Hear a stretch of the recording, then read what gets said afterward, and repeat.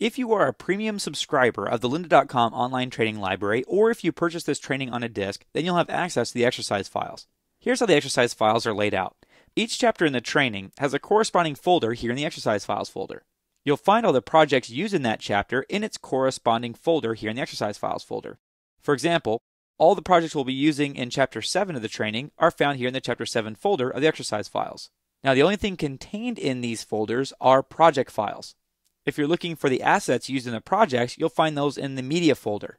In this folder, you'll find all the assets we'll be using divided into categories based on the type of media. So all the images will be in the images folder. Now, most of the time, you won't need to worry about the media folder because I've already set up the project for you. But for those times when you need to import those things yourself, here's where you'll find them. You could also come to this folder if you'd like to use these assets to experiment and play on your own as well.